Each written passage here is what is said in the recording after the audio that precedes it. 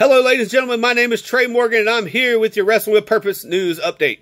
The time is near. Friday, December 7th, 2018, in Lumberton, North Carolina, for the first time in 26 years. Can you believe it? 26 years!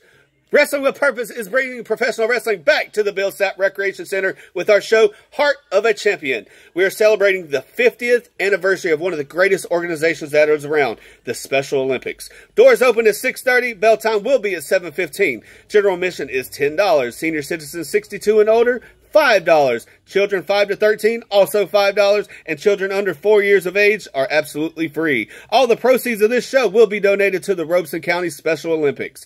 We will have NWA legend Mr. Number One George South in action in an Indian strap match versus Chief Red Thunder. And ladies and gentlemen, if you have not witnessed this rivalry as of yet, this is one that you're going to want to see. We will also have WWF and WCW legend The Barbarian, as well as Robeson County Special Olympics very own Anthony Govan in action. We're also going to have an over-the-top battle royal to determine who will be the number one contender for the Wrestling with Purpose Heavyweight Championship in 2019. We'll also have the Wrestling with Purpose Tag Team Championships on the line as American Tradition Sean Cruz and Stephen Pitbull Idol, the American Pit Bulls, versus Johnny Smooth and a mystery partner.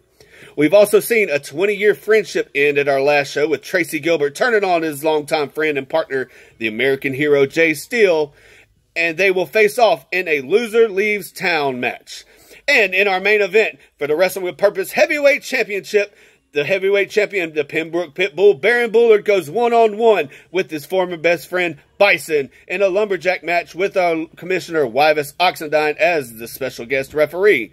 This is one you're not going to want to miss, folks. Friday, December 7, 2018, Bill Sapp Recreation Center in Lumberton, North Carolina. Doors open at 6.30, bell time 7.15. We look forward to seeing you on Friday.